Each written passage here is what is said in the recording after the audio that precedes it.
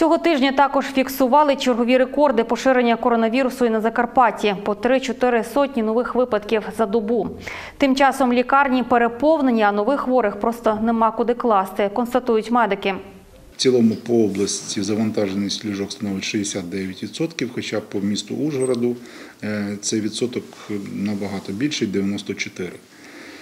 Е, Щодо кисню, е, постанови Кабінету міністрів 1099 від 11 числа. Е, Додатково для Закарпатської області виділена бюджетна субвенція у кількості 77 мільйонів 360 тисяч на проведення закупівель тими закладами охорони здоров'я, які включені в перелік. Це 16 закладів, які надають допомогу хворим на COVID-19 для закупівлі як стаціонарного кисню, так і мобільного. Тобто Якщо ми говоримо про